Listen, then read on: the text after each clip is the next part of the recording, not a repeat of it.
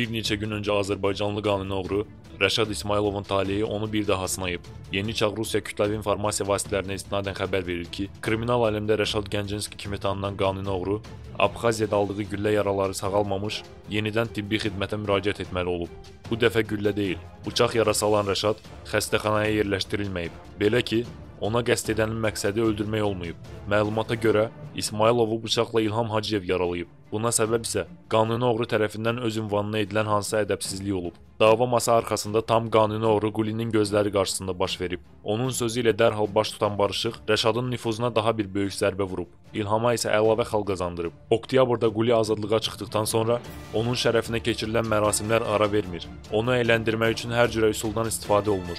Deyilənə görə içkili olan oğrular bir-birləri ilə dava edirlər. Səhər olanda isə ayılıb barışırlar. Oğruların bir-birlərinə əl qaldırmaq hüququ var. Lakin oğru olmayanlar üçün bu ucuz başa gəlmir. Təbii ki, əgər həmin şəxs Qulinin dostu deyilsə.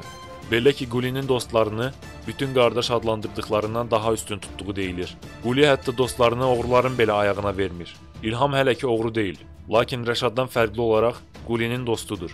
Məlumdur ki, Quli heç də həmişə Rəşadı qəbul etməyib. Bu gün də Rəşad yalnız Qulinin icazəsi ilə oğurluq edir.